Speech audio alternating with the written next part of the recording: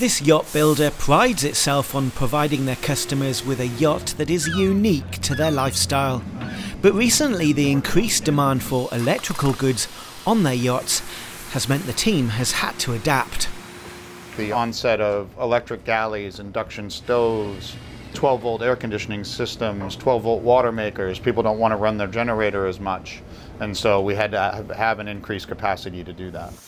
Increasing power capacity is not the only challenge.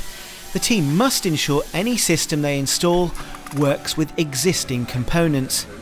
Being new to the lithium systems, I just decided I'm going all Victron all the time. Everything talks to each other, and that's the goal on this electrical system, especially with the lithium batteries.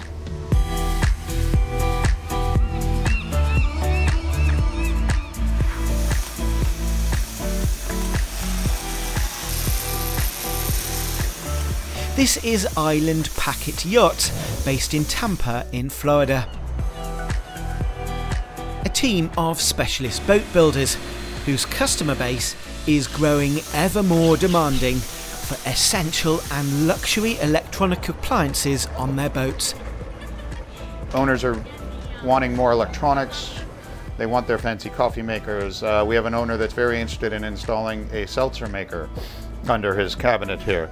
And so we have to have the battery power so all that will run on inverter if necessary. And it's just the demands that people are requiring.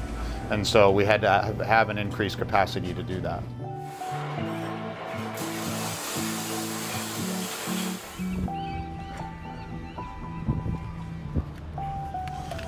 We are on an Island Packet 439. This is hull number 10. And the reason you're seeing so many folks working on it is we are detailing it to hand over to the owners tomorrow. It's made to be an around the world cruising sailboat. Some owners keep them in marinas, some owners are using them a lot, some owners not so much. But specifications are two cabin with the option for a third cabin. If you don't get the third cabin, you get a nice utility room that you can have a washer dryer, an extra freezer and refrigerator. That's where the generator goes. Options would be 12 volt air conditioning in the forward cabin and aft cabin. Uh, we offer a 110 volt unit here in the salon. We offer a 12 volt water maker. Water makers and air conditioning units already require large amounts of power, especially when first starting. Add to this TVs, hairdryers, and a myriad of other electrical goods, and the kilowatts increase significantly. The challenge is ensuring all customers have a continued and reliable onboard power source, as these yachts could be out to sea for many months at a time. The standard base boat is set up for uh, four Group 31 XT Lifeline AGM batteries. No one gets just that. Everybody gets the four additional AGMs, or they get, we offer a lithium battery system. We're finding that about 50% of the owners are looking for lithium batteries. And that was what prompted us to go to Victron, was the onset of people wanting lithium batteries. There are several benefits to using lithium batteries, mainly their lightweight versus higher output in the same space compared with lead acid batteries. They have easy maintenance and a lifespan up to 10 times longer than AGM batteries. The battery capacity is the biggest biggest thing. We can get with our AGM battery setup with eight batteries we have a thousand rated amp hours of use, which means you get 500 real amp hours basically. With the lithium batteries, in, less space, we can get 1320 amp hours of rated use, whereas you can use about 1200 of those. That is one benefit of lithium. You can already run heavy loads like washing machines without the engine running, as there is very little voltage drop there were a lot of different things we had to incorporate into the lithium system. We enjoy it because it is a more flat power curve where the voltage is not dropping as the, as the batteries discharge.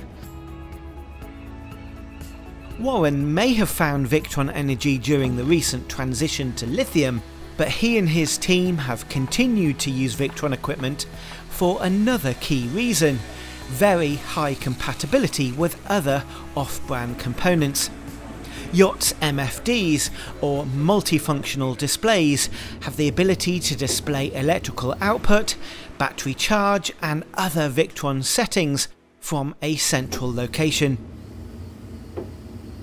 Previously, we had used a MagnaSine charger inverter, and we would have a Balmar battery monitor. And getting all these things to network together was it was just a clunky system, and it didn't really work.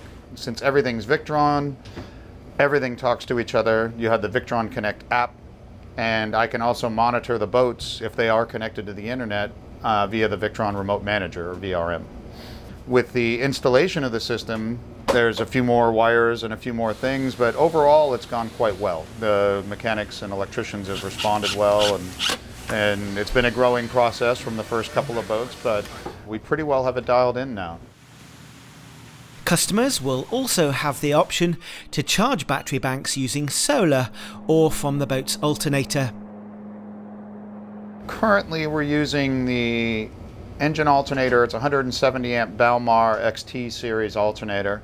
Um, and we're regulating that with a Balmar MC618 uh, charge regulator, uh, which is the Balmar is a fine product, but in the future we're going to be going to the Wakespeed alternator regulator because that integrates with the Victron system quite well.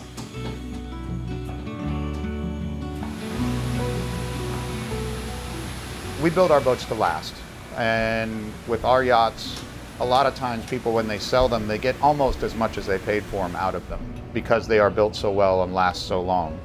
Answering service questions, I get calls from boat owners from the 80s asking me how to fix something on their 1980s boat so they last and they stay around a long time. And the resale value is fantastic on our yachts. Given the longevity of these custom built yachts, Warren and his team will use lithium along with Victron Energy equipment for years to come. We have a dedicated marine area on the Victron Energy website, and there are pages for small boats or sailing yachts to motor cruises and large yachts. Don't forget to subscribe to our channel to keep up to date with what's going on. It doesn't cost you anything, and if you click the bell icon, you'll be notified about our videos.